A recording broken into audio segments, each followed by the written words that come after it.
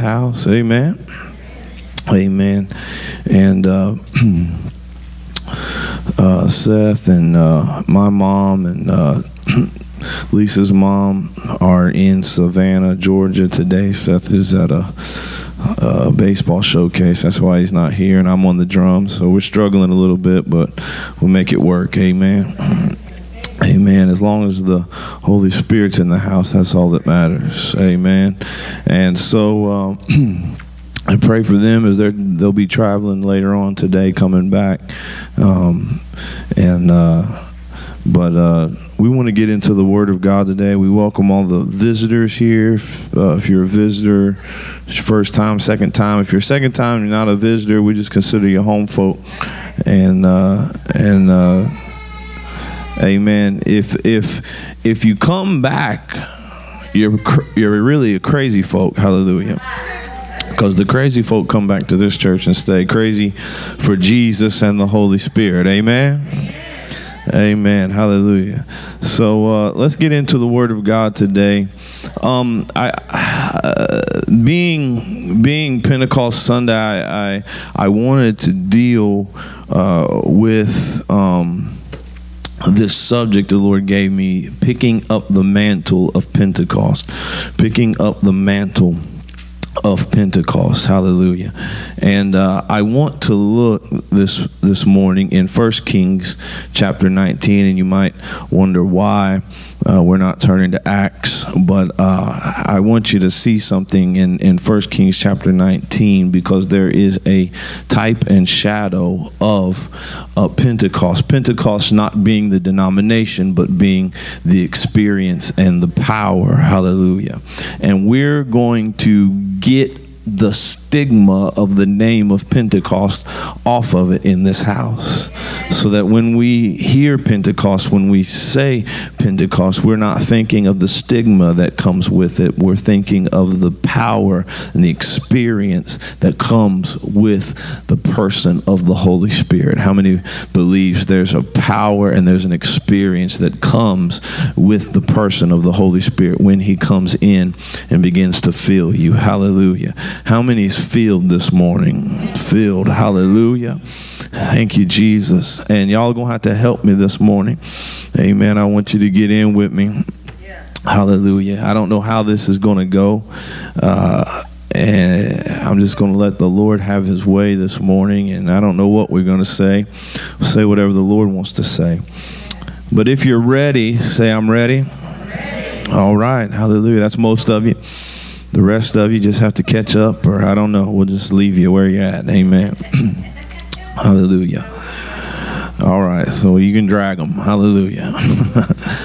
Hallelujah. You can you can drag them. Hallelujah.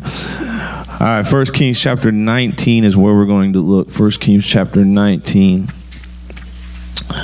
Uh, looking at verses 19 through 21.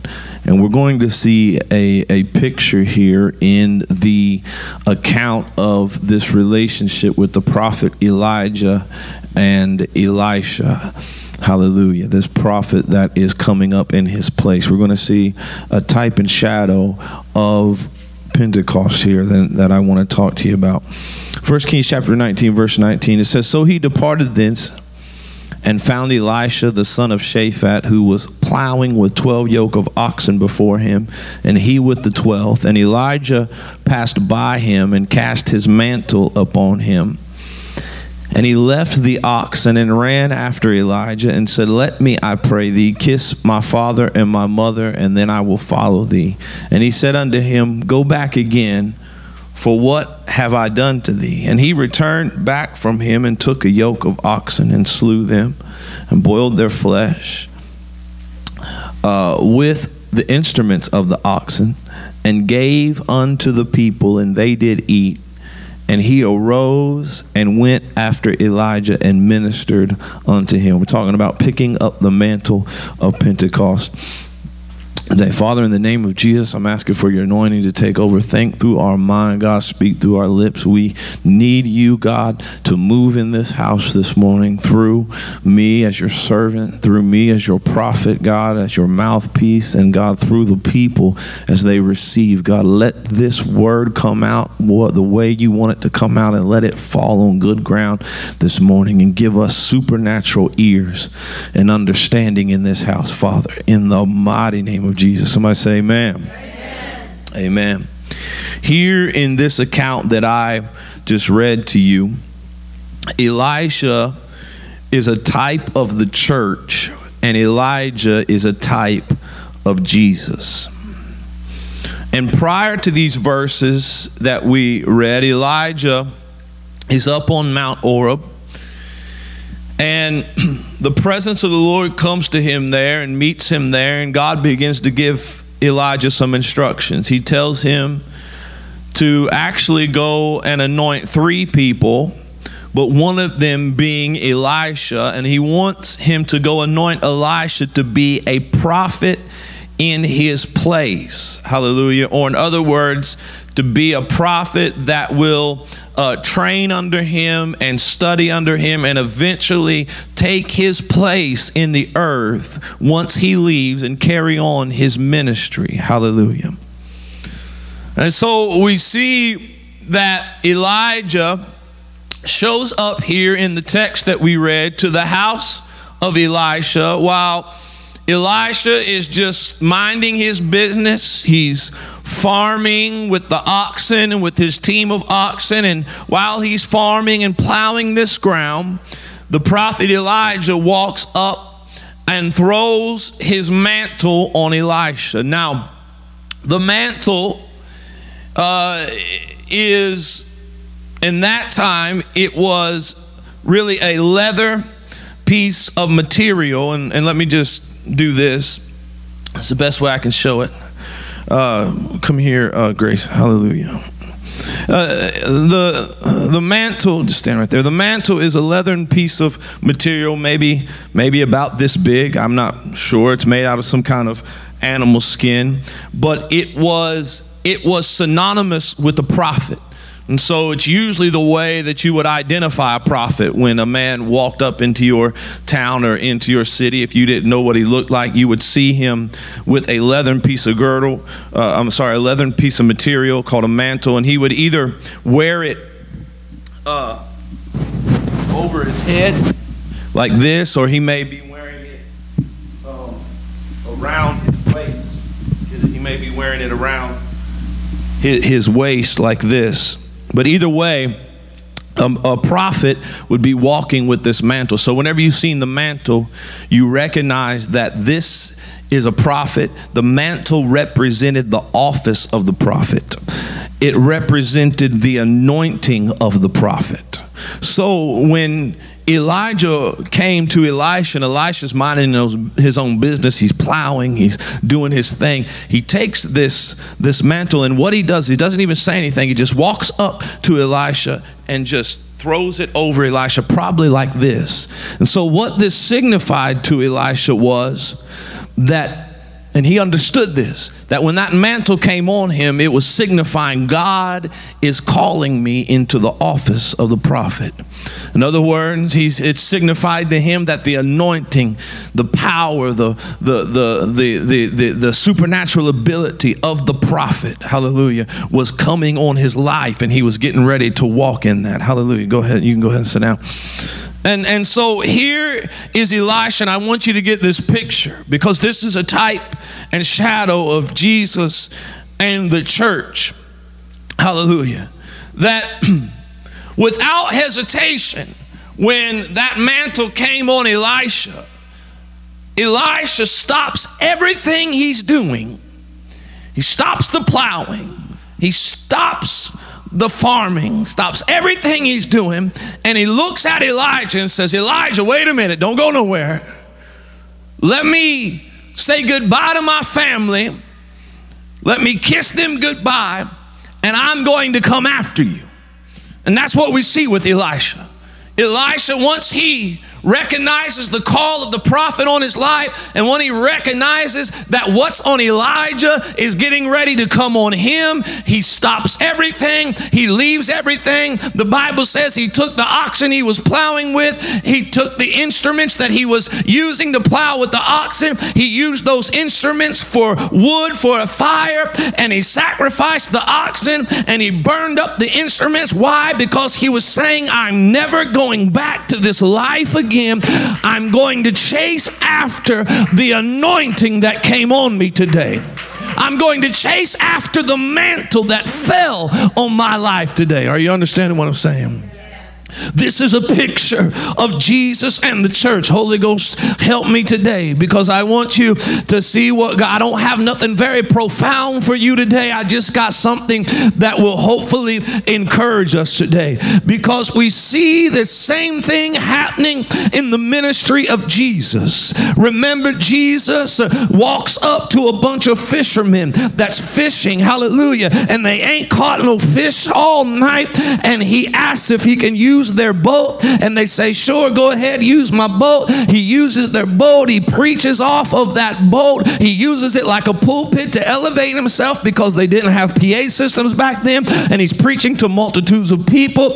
And then he turns around and he tells them, He says, I know you ain't caught nothing, but go ahead and launch out into the deep and you're going to get a great uh, catch of fish. And, and Peter said, Lord, we caught, we, we fished all night and we ain't caught nothing. We, we but nevertheless, at your word will will launch out. And the bible says they launched out into the deep and they brought in a catch of fish that was starting to sink the boats. And peter recognized the anointing on this man. Peter recognized that this is the messiah. Peter recognized that this was the one that is to come and and, and restore the kingdom back to israel. And jesus looked at peter and said peter drop your nets because uh, you've been fishing for fish but i'm gonna make you fishers of men. Hallelujah. Come on. And so here we see that, like Elisha, who drops everything and goes after Elijah and begins to chase that mantle that fell on him and begins to chase that anointing and begins to chase that power. That when Jesus showed up to the to the disciples uh, who were fishermen, they were tax collectors. Uh, we see them dropping everything and going after Jesus. Ooh, hallelujah. Oh, there's something about this anointing that when you catch it, when it touches you, it'll shift everything in your life. Woo, hallelujah.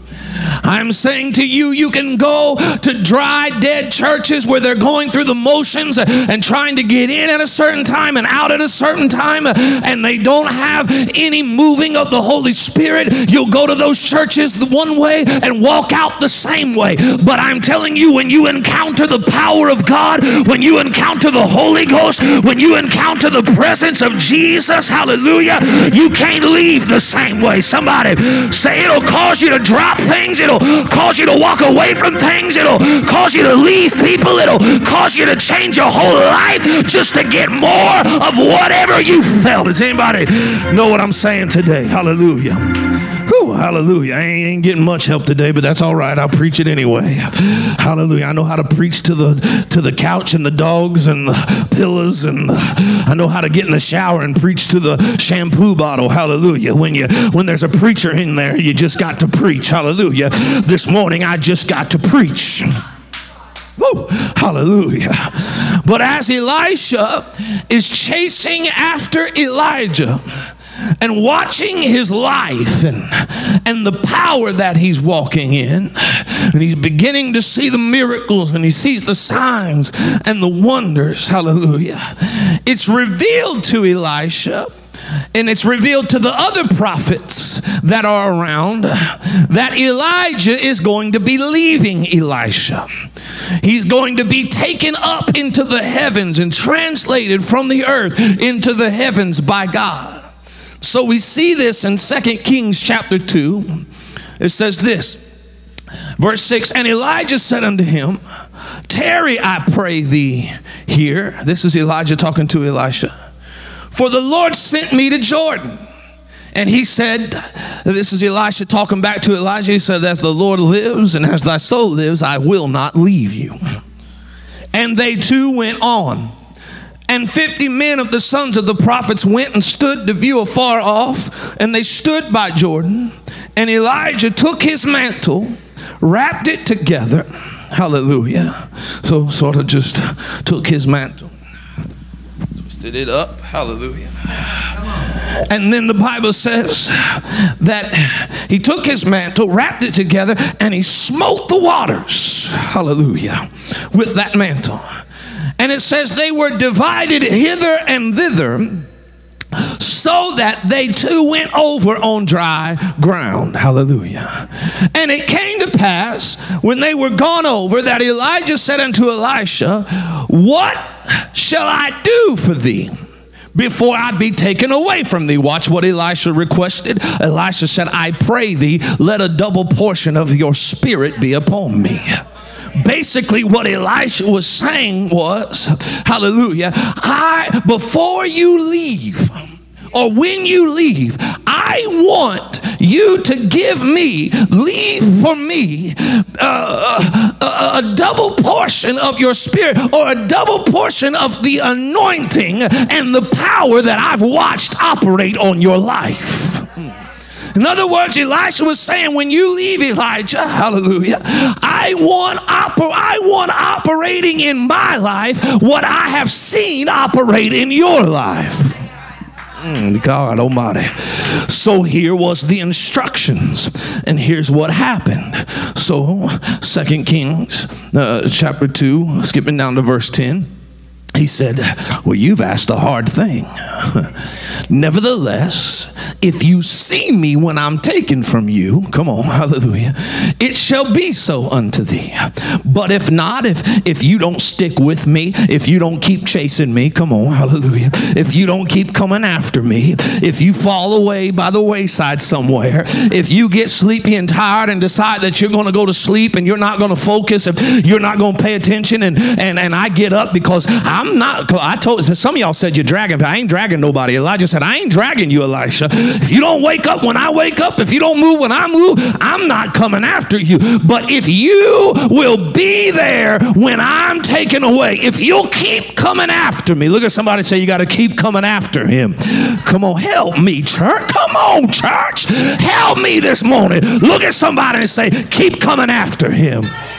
Come on, thank you. Hallelujah. Good Lord Jesus. Hallelujah. Come on, it's Pentecost Sunday. I got I need some Holy Ghost filled believers in this house to wake up and help me preach this morning. It came to pass as they still went on and talked, watch this, that behold, there appeared a chariot of fire and horses of fire and parted them both asunder, and Elijah went up by a whirlwind into heaven. And Elisha saw it. He must have been there. Amen. Hallelujah. He must have kept on pursuing him. Elisha saw it and he cried, My father, my father, the chariot of Israel and the horsemen thereof. And he saw him no more. And he took hold of his own clothes and rent them in two pieces because that was in the Jewish culture a way to show mourning. He was mourning the loss of Elijah. He loved Elijah. That was his spiritual father, that was his mentor, his pastor. He rent his clothes. He was mourning in two pieces. Hallelujah. He, and, and it says he took up also the what? The mantle of Elijah that fell from him. Does everybody see that? Hallelujah. And so when Elijah was taking taken away and he was sent up into the into the clouds by the by the whirlwind, uh, the Bible lets us know that the mantle, what mantle? The same mantle that represented the anointing and the office of the prophet that came on Elisha when he was plowing in the fields that totally interrupted his life, disrupted his course, stopped everything he was doing, shifted his mind and made him him stop everything, leave his family, leave his work, leave everything he knew, and go after the prophet, that mantle fell.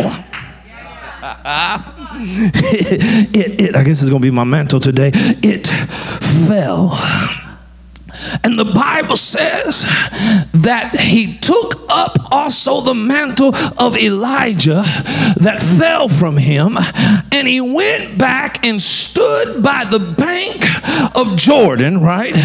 And he took the mantle of Elijah that fell from him, and what did he do? He smote the waters.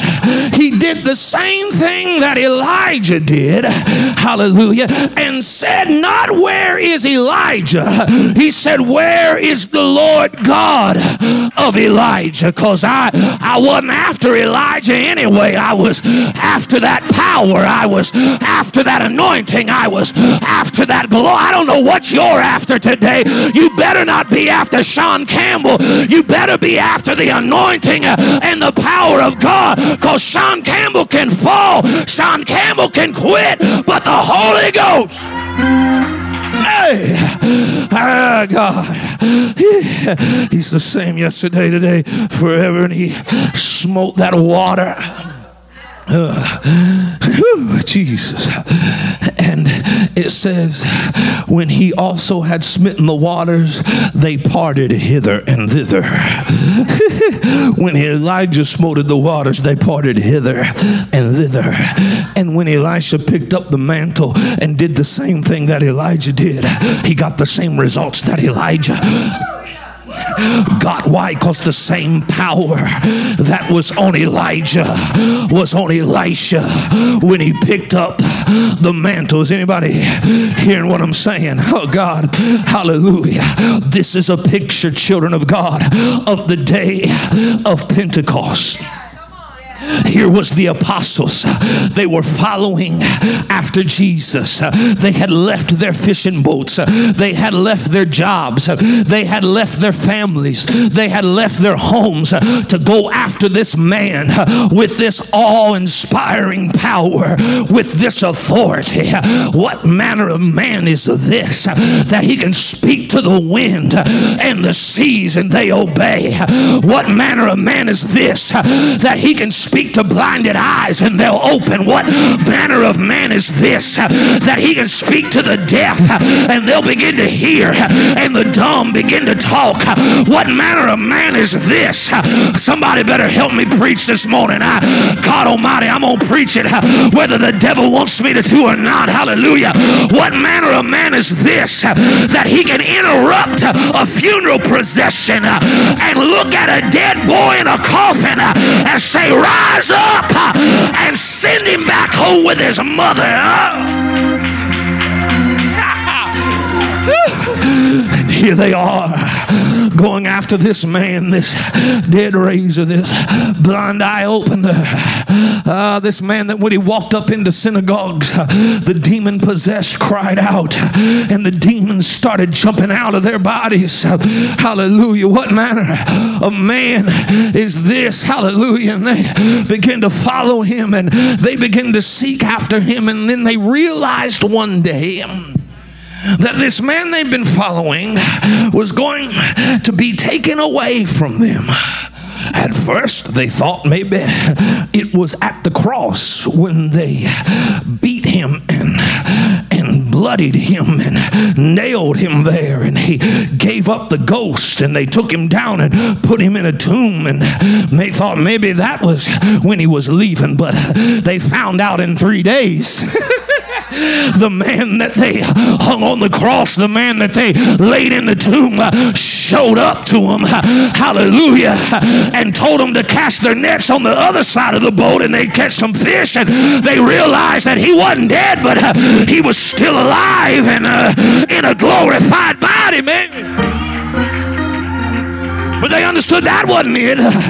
Uh, but then they found out uh, uh, he's going to leave us. And it was on the Mount of Olives. Can I preach it this morning? Can, can I preach it like I, I feel it? He was, he was on the Mount of Olives, and there was about 500 there gathered together.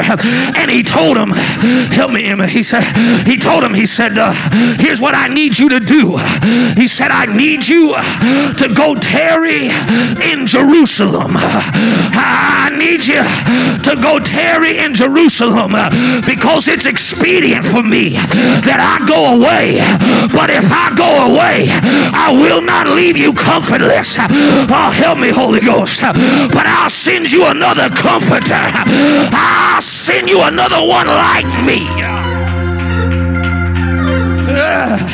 And so it told him uh, to go tarry in Jerusalem. 500 were there on the Mount of Olives, and 500 of them seen him uh, go up into the heavens. And he ascended up into the clouds, and they were standing there watching him. And some angels showed up and said, Why stand ye here gazing?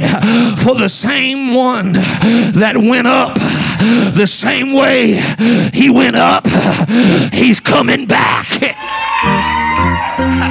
Is there anybody believes today uh, that the one that went up is coming back?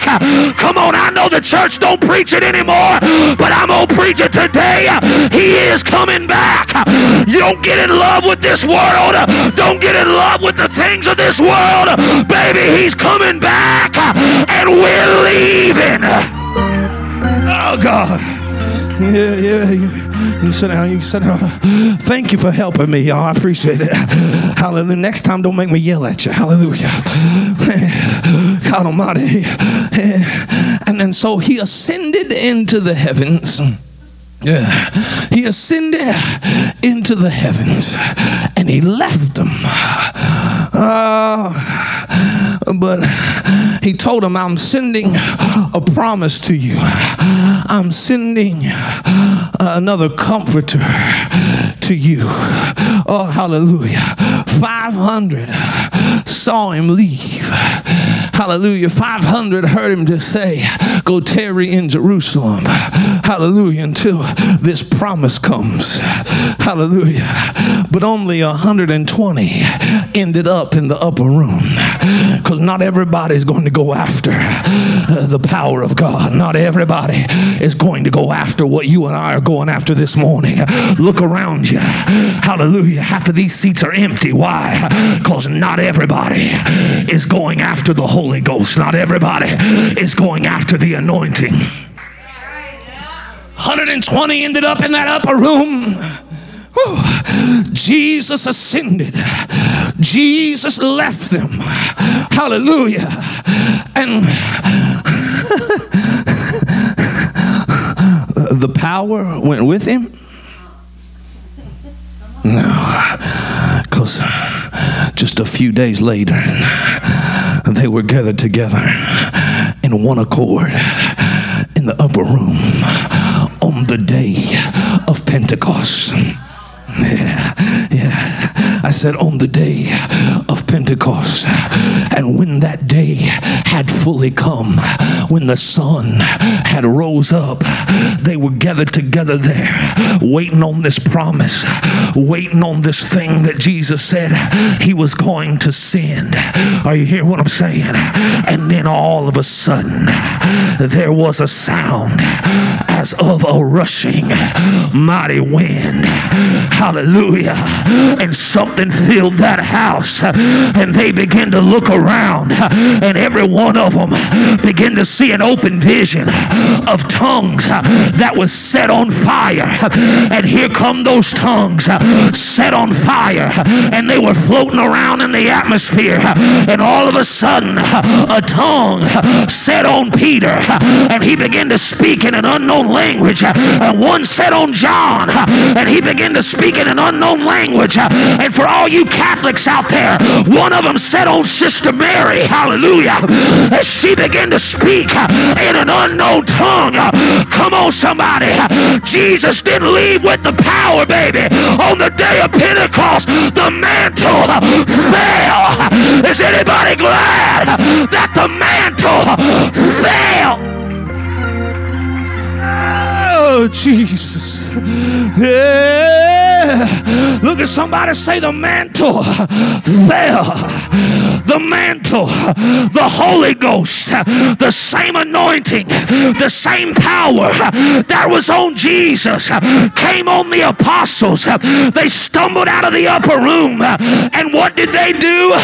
They did what they saw Jesus do. And guess what happened? They got the same results. Blinded eyes were open, deaf ears were open, the dead was raised. Somebody better praise him on Pentecost Sunday because the mantle has fell. Somebody shout, the mantle has fell. The mantle fell.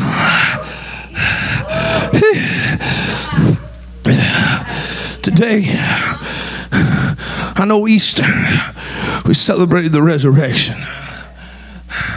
But 50 days later, that's what Pentecost means 50. It's a, Pentecost was not a Jewish term, it's the Greek term for 50 days after Passover. 50 days after Passover, we celebrate what his resurrection made a way for.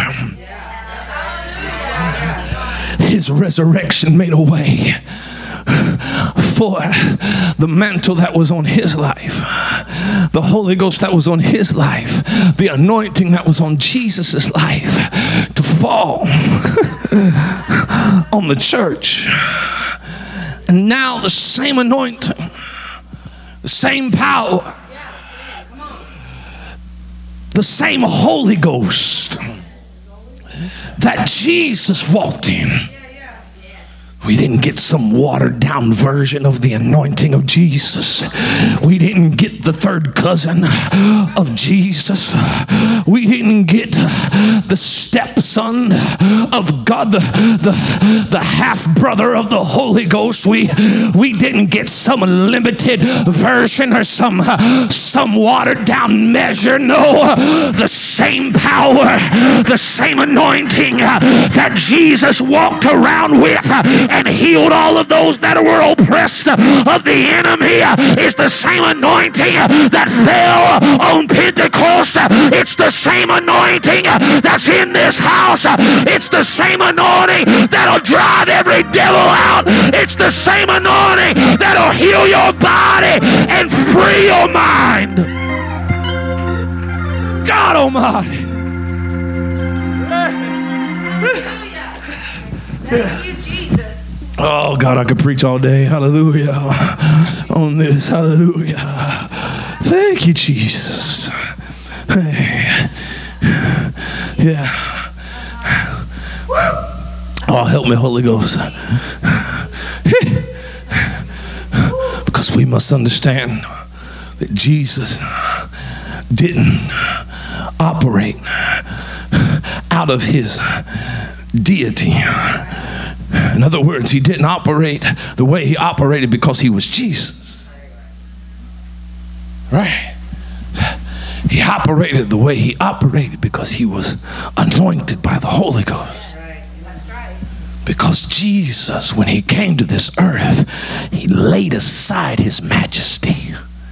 Can I just teach this just for a moment? He laid aside his majesty. And he left the splendor of heaven. And he came down and went through the matrix of a virgin's womb. And he come into this earth with flesh. He was the Son of God, but he was also the Son of Man. And he dawned sinful, wicked, poor, wretched flesh. And he walked this earth and he was nothing to look at. He wasn't beautiful, he was average as they come.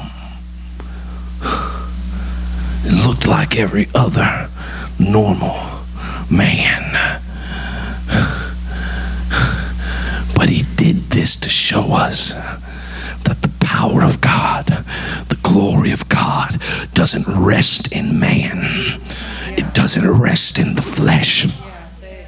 The flesh is just a vessel. The flesh is just a tool. But the power resides in the anointing of the Holy Ghost. And he said, I'm going to show you what man can do who is anointed. I'm going to show you what man can accomplish who has the power of the Holy Ghost resting on his life. And he never cast out a devil, never preached a sermon, never opened a blinded eye until at about 30 years old, he identified with us and he went to a muddy Jordan, submitted himself to the Baptist, Mr. John. Hallelujah. And Mr. John dumped him under the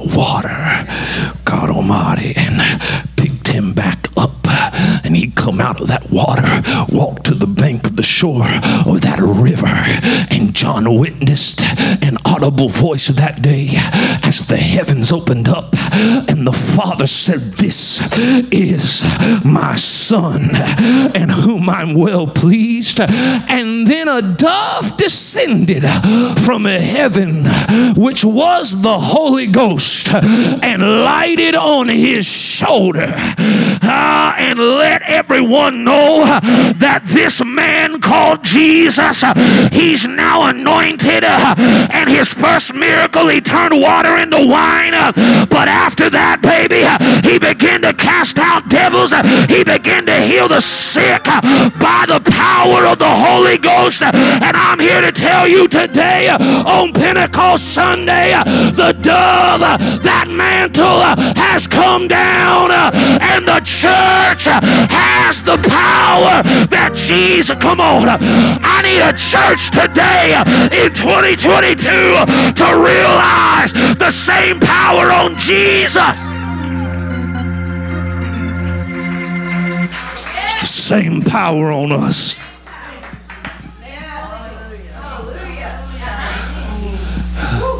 He said, Okay, Holy Ghost, here we go. He said, These works that I do, Brother Stephen, shall you do, and greater. Why? Because I go to the Father. Can I just talk about it a minute? This wasn't in my notes, but, but I'm just going to preach it anyway. Hallelujah. Because I go to the Father. You'll do what I do because I go to the Father. What does that mean? Why, why do you got to go to the Father? Because he said, if I go not away, the Holy Ghost, the anointing that is giving me this power, cannot come. But if I go away, then he can come. But why can't you stay? And he come. Right? Why can't you stay and he come? Because Jesus had to accomplish something. Adam had separated us from the glory, the power, and the presence of God. Come on, right? Come on, Shaun. yes. But Jesus said, I've got to go fix some things. And Hebrews chapter 9 said he took the blood not of rams, not of bulls, not of bullocks, but his own precious blood.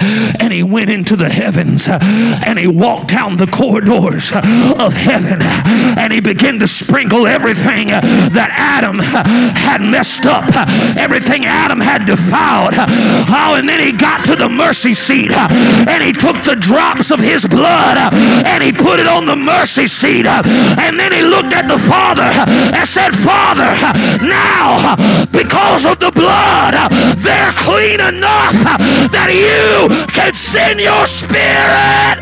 Somebody better thank him for the blood this morning.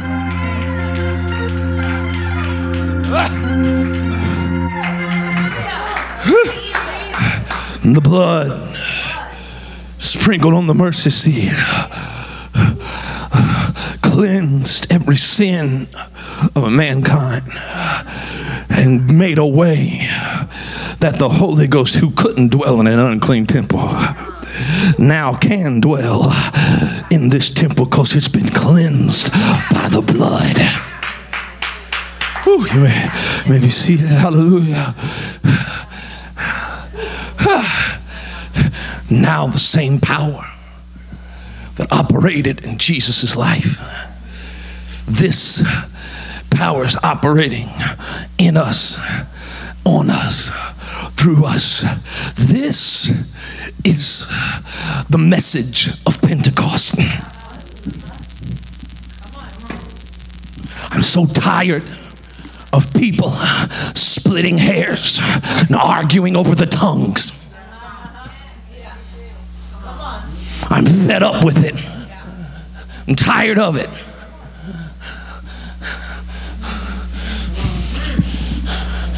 Sometimes, can I be transparent? Sometimes Shaun wants to slap people. But the Holy Ghost says, no, you can't slap them. It's one time, Holy Ghost, let me slap. No, you can't slap them. I'm so tired of people limiting my Holy Ghost to a tongue. So tired of people arguing over the tongue. This thing is more than a tongue. I thank God for the tongues, and I'll talk about the tongues in a minute because I believe it's important. But this power ain't just about a language, it's about running the devil out of your life. It's about healing, it's about miracles, it's about breaking chains.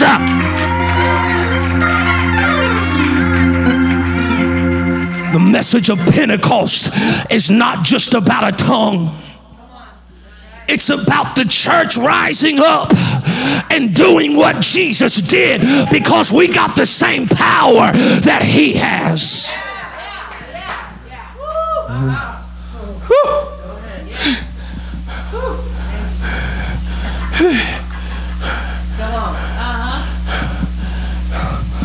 But this is what the Lord wants me to tell you.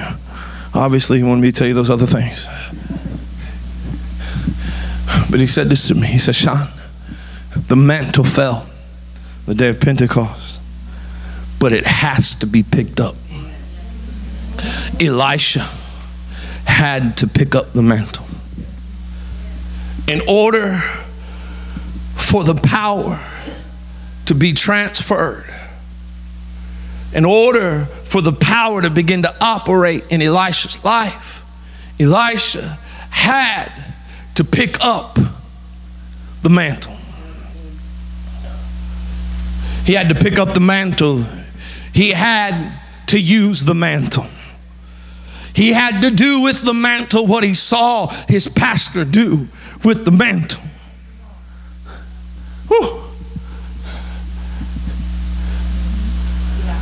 My word to you today, my message, my sermon, whatever you want to call it, just don't call it a talk because we ain't talking in here. We're preaching now.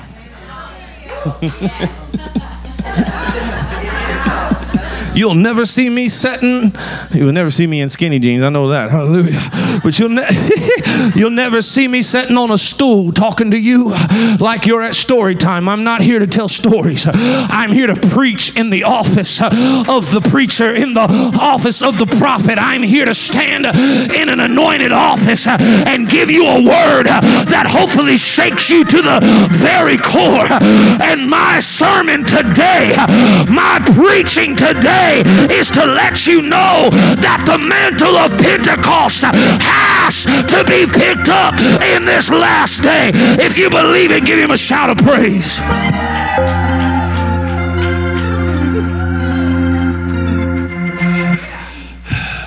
Look at somebody and say, Pick up the mantle of Pentecost.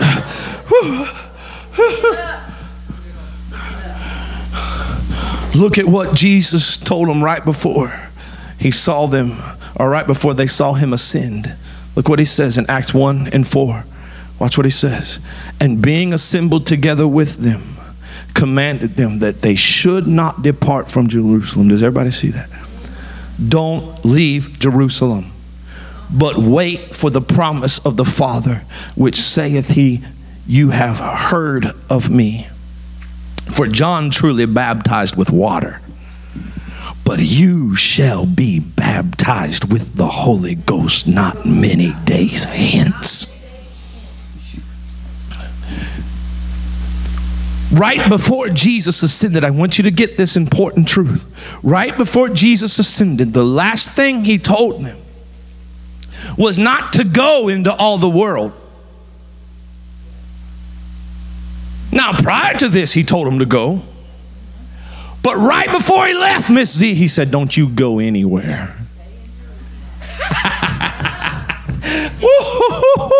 Hallelujah.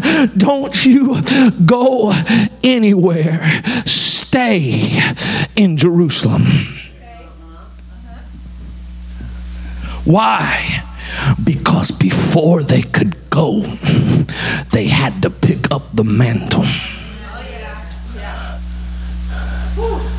They had to pick up the mantle of Pentecost, or in other words, they had to be. And here's where, here's where I'm ready to fight every devil. I'm ready. Or in other words, they had to be baptized in the Holy Ghost. Can I preach to you what Jesus preached?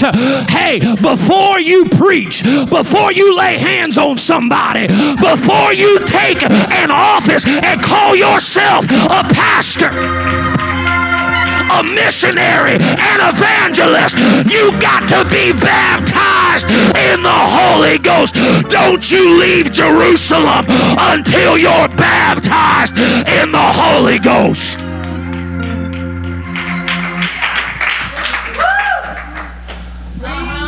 Now, there we go. Hallelujah.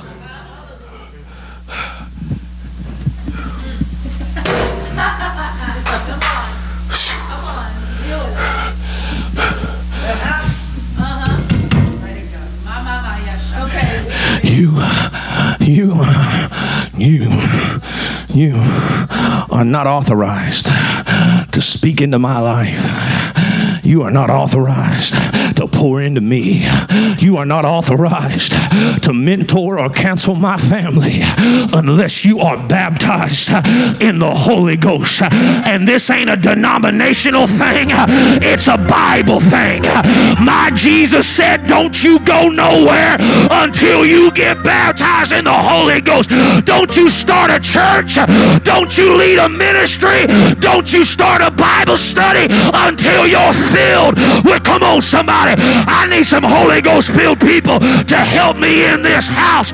The problem with the church today is nobody's authorized. We're authorized by ministry. We're authorized by some denomination, but there ain't nobody authorized by the Holy Ghost to stand in the pulpit. I need some Holy Ghost filled men and women of God to return.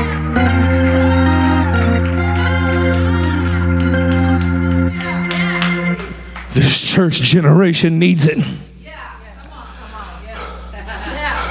This generation needs men and women to stand in these pulpits having been baptized in the Holy Ghost. Why? Because that's the way that I pick up the mantle that Jesus walked in.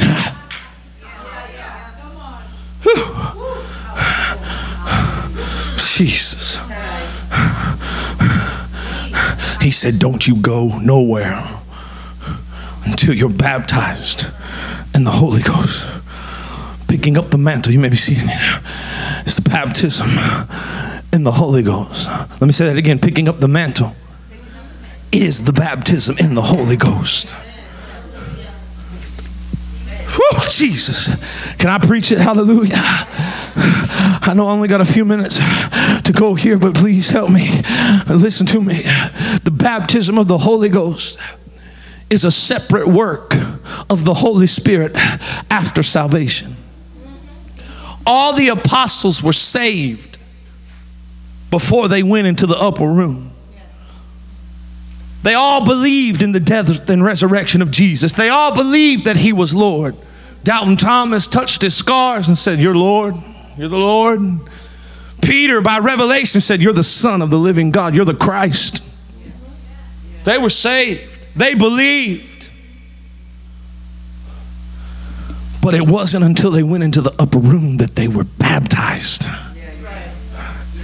in the Holy Ghost. The baptism of the Holy Ghost is the picking up of the mantle. The baptism of the Holy Ghost, it's a separate work of the Holy Spirit after salvation. At salvation, the Holy Spirit comes in and makes you a new creature. But when you are baptized in the Holy Ghost, that's when the supernatural power of God can begin to work out of you. Whew. He told him in Luke 24 and 49 Behold, I send you the promise of my Father. But tarry ye in the city of Jerusalem until you be endued with power from on high. The word endued means furnished or equipped. Like if you was furnishing or equipping somebody for a mission. And the word power is the Greek word dunamis, which means strength or might. When you're baptized in the Holy Ghost, you become furnished or equipped with supernatural might or strength. I said it earlier and I'm going to say it again. The baptism is not just about speaking in tongues, it's about being equipped to do supernatural feats. Many of you that are in this house, you were saved for years before I came along but you never operated in anything supernatural until you got baptized in the Holy Ghost. Baptism of the Holy Ghost, it's the door into miracles. It's the door into the supernatural power of God. It's the door into revelation. It's the door into prophecy. It's the door into the gifts. It's the door into the preaching gift. It's the door into the office of the, the apostle, the teacher, the pastor, the evangelist. Hallelujah. It's the doorway into seeing revival break out. There's a drink of the Spirit that'll make the Holy Ghost a well springing up in you, producing eternal life in you. But then there's another drink, John chapter 7, that'll make it a river flowing out of your belly. I know I'm preaching to the choir, but we need to hear it again. Because some of you are getting attacked on the Holy Ghost. You're getting attacked on the baptism. Well, I'm going to strengthen your legs today.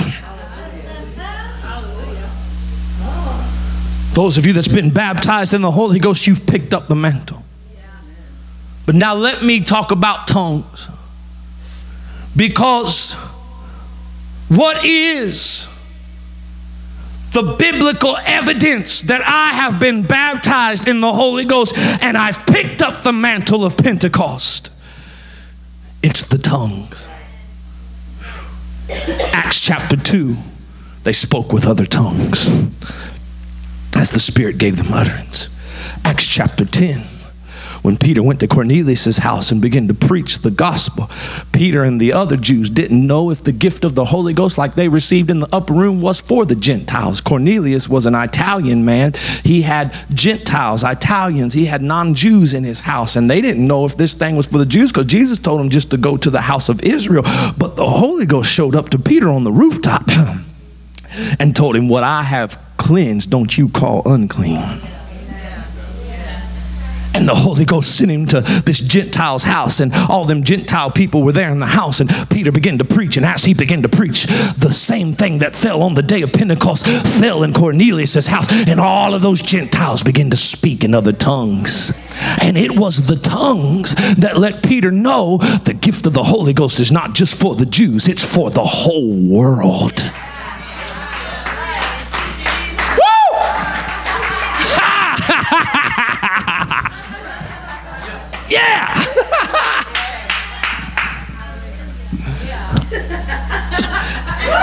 That's one for the tongue talkers. Come on, tongue talkers. I just gave you some help. Hallelujah. It was the tongues that let Peter know that the blood wasn't just shed for Israel, it was shed for the whole wide world. And I don't care where you're from, what color you are, what race you are, there's a Holy Ghost that will baptize you and give you another language than your own. Uh, the tongues that was the sign to Peter that these people in Cornelius' house has picked up the mantle. In Acts chapter 19, the believers in Ephesus, when they were filled with the Holy Ghost, they spoke with tongues and prophesied. Acts chapter 8, it doesn't say they spoke in tongues, but it does say when Peter and John laid hands on them to be filled with the Holy Ghost, something happened in the physical that caused the local sorcerer to want to pay money to have the power that whoever he laid hands on would receive the Holy Ghost. What happened? I guarantee you. They begin to speak in tongues and fall on the floor shaking. In Acts chapter 9, Paul was filled with the Holy Ghost. It doesn't say he spoke in tongues, but I guarantee you that's when he began because in Corinthians, 1 Corinthians chapter 14, he said, I speak in tongues more than you all. Where do you think it began? When he got filled with the Holy Ghost. I believe that the devil, Taj, wants to confuse the church about tongues, get us to fight about tongues, get us to argue about tongues, get us to believe that tongues died with the apostles, or, we don't need the tongues now that the Bible has come, which is a heresy and a false doctrine. Why? Because uh, of the benefits of tongues and because it's the initial sign that the church has picked up the mantle. The devil doesn't want us up the mantle.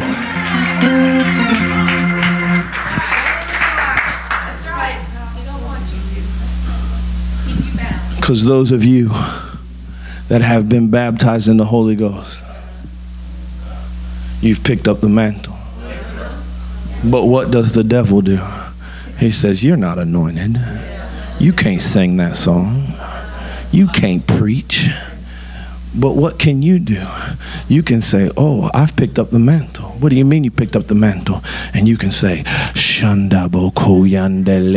Sataya brokotai. That's what I mean. I picked up the mantle. I've been baptized in the Holy. Come on, somebody. I picked up the mantle when I was 14 years old. My mama picked it up when she was a teenager. My grandma picked it up in the 1930s. And we've been swinging this thing ever since. Has anybody picked up the mantle today? Let the devil know I've picked it up.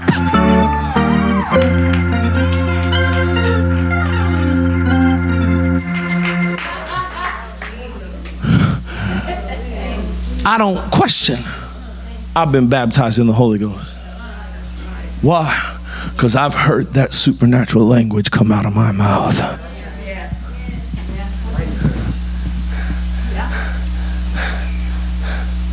And every time I speak in tongues, time I pray in tongues, every time I praise in tongues, it reminds me I'm carrying the mantle. Come on, somebody. I'm about done. I promise.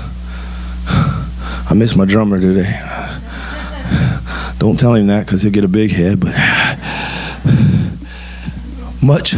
That's all right. You can tell him because I, I, I, I know how to bust his head. Hallelujah. Much of the church, and I'm done. Much of the church is trying to operate without picking up the mantle. Huh?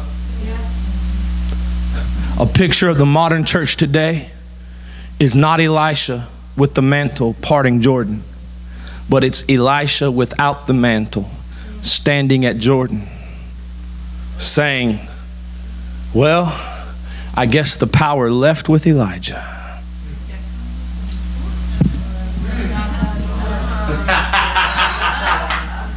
Come on.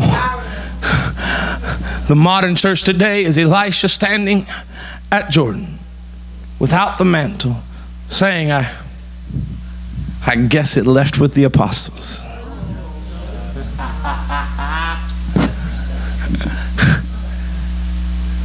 Picture of the modern church today is Elisha standing at Jordan without the mantle, saying, Well, maybe it's not God's will for me to cross the water.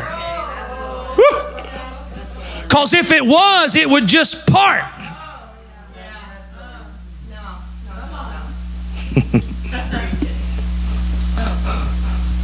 Or I know the modern church is Elisha standing at Jordan saying, You know, I need to swim across it because God wants to strengthen me through this. Whew, through this struggle. And you know, if I drowned in it, then it was probably just His will to take me on.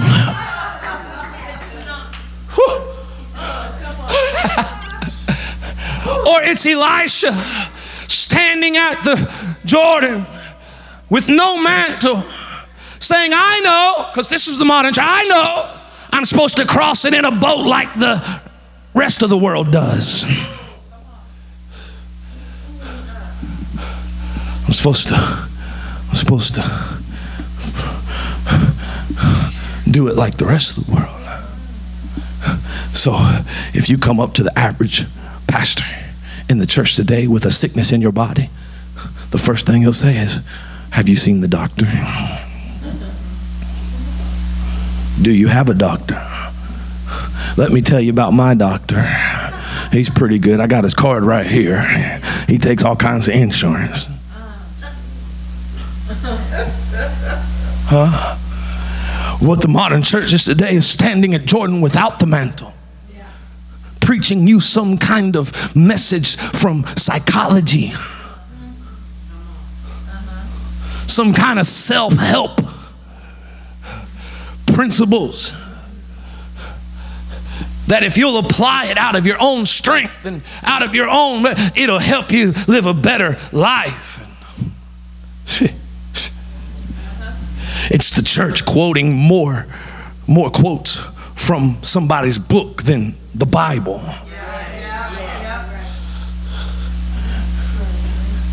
It's the church doing it like the world. God, but this is the last thing I'm going to say is this before we leave out of here. And I hope you haven't lost your praise. I hope you got one last praise to give the Lord because what the world needs to see is not another powerless, weak Christian without a mantle. Oh God, can I say that one more time? That what the world needs to see, what Chiefland needs to see, what the school system needs to see, what your co-workers need to see is not another powerless, weak Christian standing at Jordan without a mantle, looking for a boat, or turning around and going the other way, or trying to swim just to get drowned and carried away by the current. No, what they need to see is somebody that's picked up the mantle of Pentecost, that's been baptized in the old fashioned Holy Ghost, and has got the tongues in their life as a sign, revealing to them that there's a God that can still part waters and dry up the ground. Does anybody believe it's time to pick up? Come on, get on your feet today. It's time to pick up the mantle of Pentecost.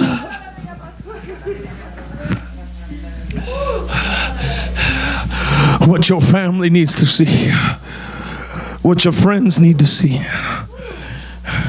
what this city needs to see is that there is somebody that's picked up the mantle been baptized in the Holy Ghost, the evidence of speaking in tongues, who's walked into the door of the supernatural, and who now will do what they saw Jesus do. And get the results they saw Jesus get. Are you hearing what I'm saying? They need to see somebody strike the water. they need to see somebody again lay hands on the sick, and see them recover. Yeah. They need to see devils coming out.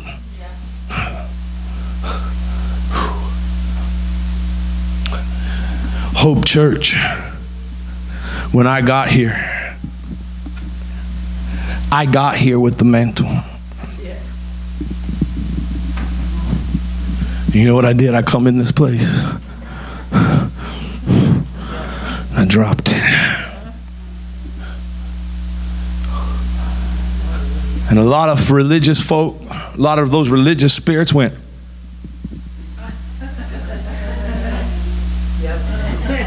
Just like that. Some of them went.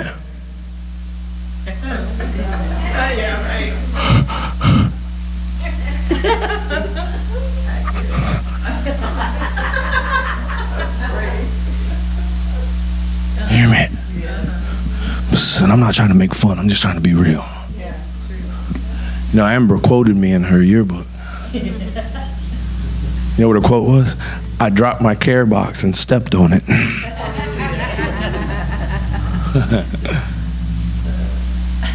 yeah. But some, only a few, picked it up. Yeah, come on. Yeah. Wrapped it together and said, Show me the Jordan. Show me the Jordan. Where's it at? Where's that Jordan? Show me that devil. Show me that cancer. Come on, show me that person that's bound up. Show it to me. Show it to me. Give it, get it to me. Get it to me. So, some of y'all had to grab by the back of the shirt and say, Calm down. You ain't ready yet. Hallelujah. You got to learn how to walk. But some of you said, Let me at it. You like Scrappy on Scooby Doo. Let me at him. I'll pulverize him. I'll, I'll show him what I got. Is there anybody in this house that's picked up the mantle? Come on on this Sunday morning.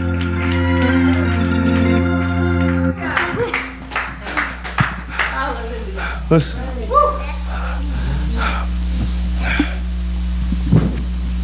I said this Friday. Every generation drops a mantle. Some drop the mantle of business. Some drop the mantle of, you know, the talent to work on cars. Some drop the mantle of the talent to, you know, be creative and sew things and make things. Some drop the mantle of, you know, I don't know, some drop the mantle of, of, of motherhood on people. I,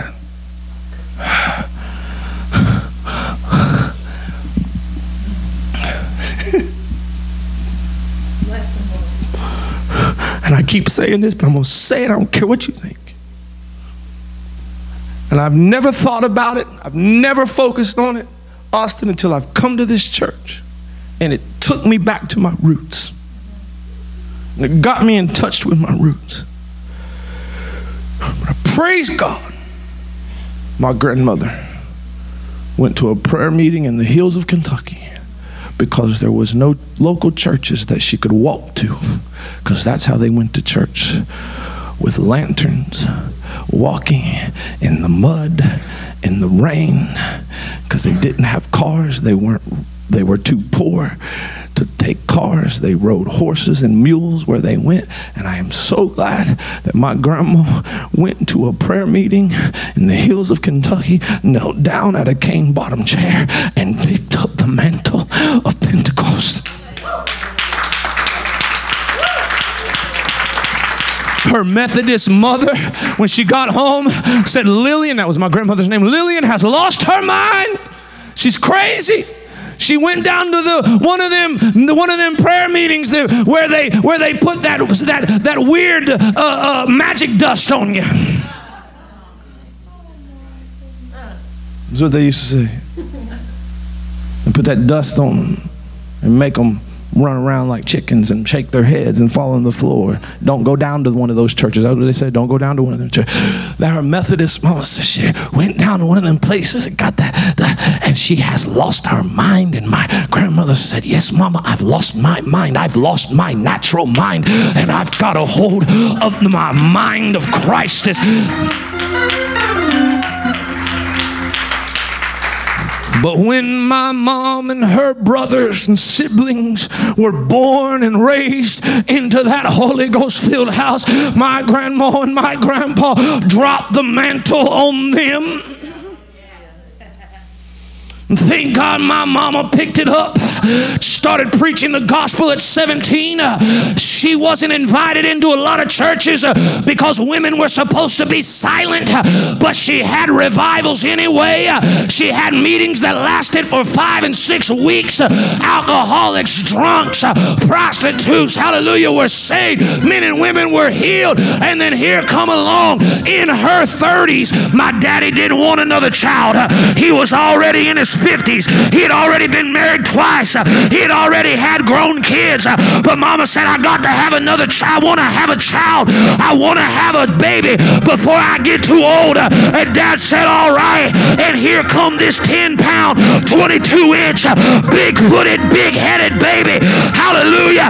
Out of my mama as she took me to church and took me to the Pentecostal houses. And the mantle fell. And I picked it.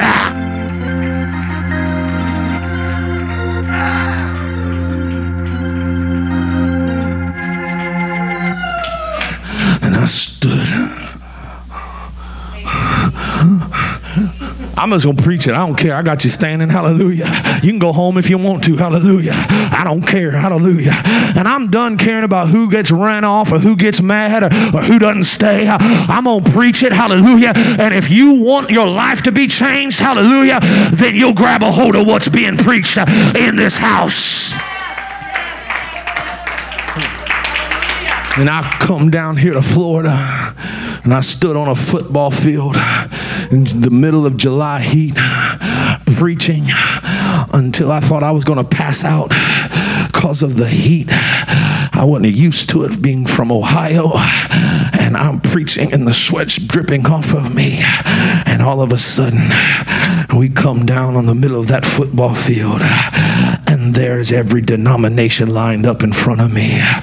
Four to five hundred people lined up on that football field, many of which came out of the Baptist church.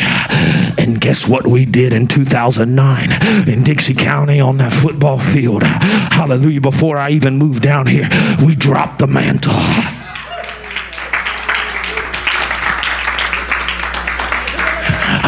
Baptist people coming up to me and saying, Now what do I do? What do you mean?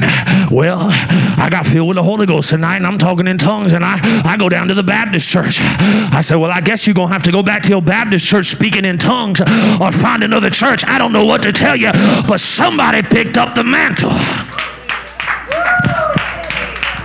Then the Lord said in 2010, Shaun, I want you to leave everything in Ohio. I want you to leave your church, leave your house, leave your family, move your family, leave, leave, leave your immediate family or, or your, your, your cousins and your mom and all of them, and take your family and move down here to Florida. And I want you to go into Old Town and I want you to drop the mantle.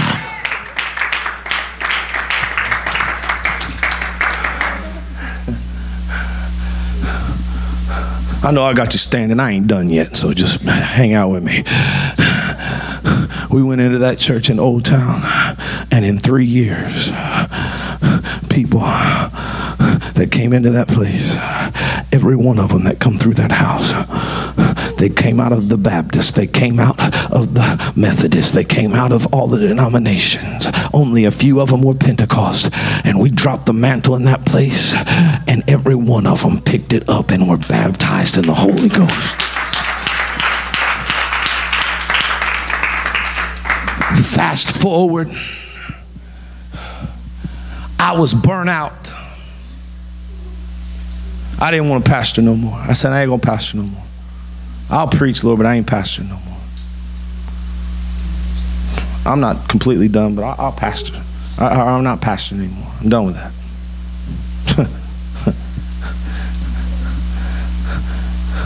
and I went back to a secular job, and I was living life and loving it.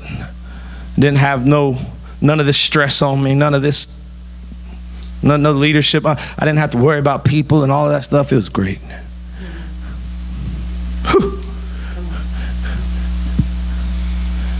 And I'm pastoring again today, not because I wanted to deal with people. As wonderful as you all are, you're not the reason I came back.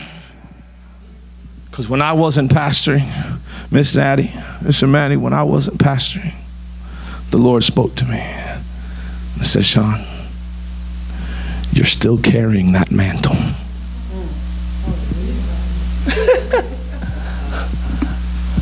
I said, Yeah, Lord. And he kept talking to me. And it didn't happen overnight, but over the course of months and months and months, the Lord spoke to me. And he kept coming to me and saying, Shaun, you still have that mantle. What about that mantle, Shaun? Ah, I don't want nothing to do with that man. Shaun, that mantle. Shaun, that mantle. Oh, God, no. And then he'd open up a door for me to go do a revival or preach a service, and that mantle would come out, and I, the anointing would get. And, and the Lord said, See, that mantle's still there. And then one day, he finally broke me down. He wore me down. And I said, All right, God. I realize I still got this mantle, this mantle of Pentecost. Grandma picked it up. She dropped it on my mom. My mom picked it up. She dropped it on me.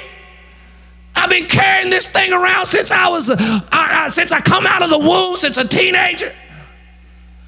All right, God, I still got this mantle of Pentecost on me. What do you want me to do? I'm broke down now. God, wherever you open the door. And then this Baptist man called me and said, I want you to come. I don't care if you've heard this or not, I'm telling it again. He called me. Baptist church, Baptist name over the door, Baptist name registered with the state on the charter. We want you to come and preach. Our people are asleep and they need to be woke up. And I looked at God, and God looked at me, and He sort of did that thing where it's like,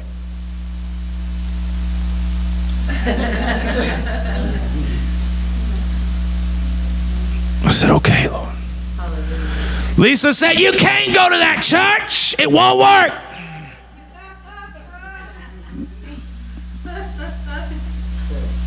I said, What if it does work?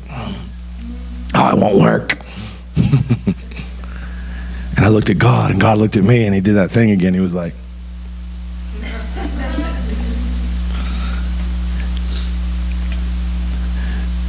And God said, Shaun, you've dropped that mantle on the football field. You've dropped it in revivals in Kentucky and in different states. And you dropped it.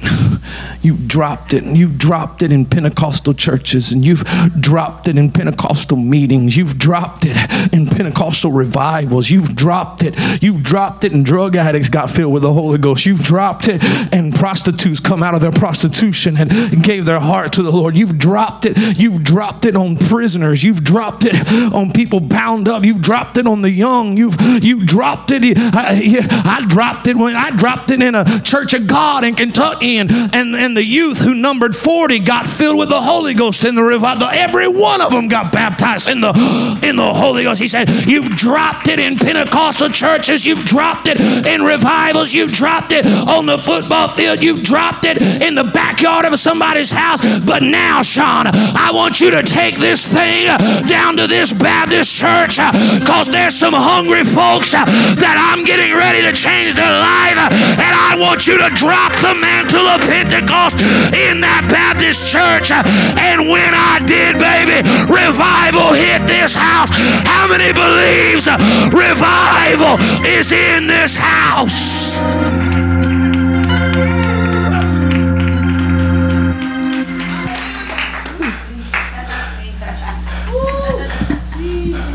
Abby picked it up.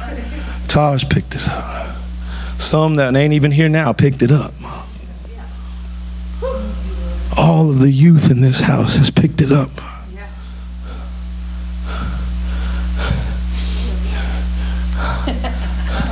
I refuse to pastor church without a mantle. This will be a church with a mantle. This will be a church that does the works of Jesus. This will be a church that runs devils out. Lift your hands in this place. I'll play around.